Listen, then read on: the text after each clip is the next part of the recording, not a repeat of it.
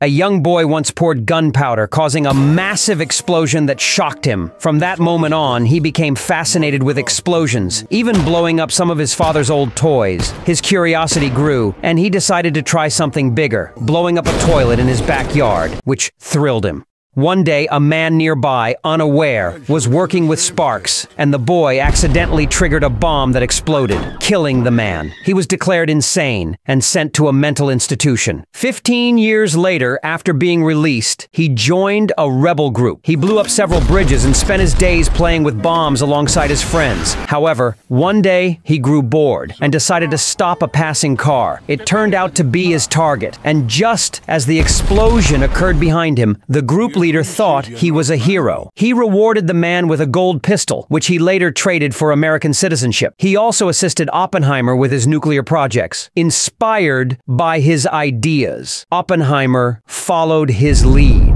In the end, the nuclear bomb was successfully detonated, and the president congratulated the man for his contribution.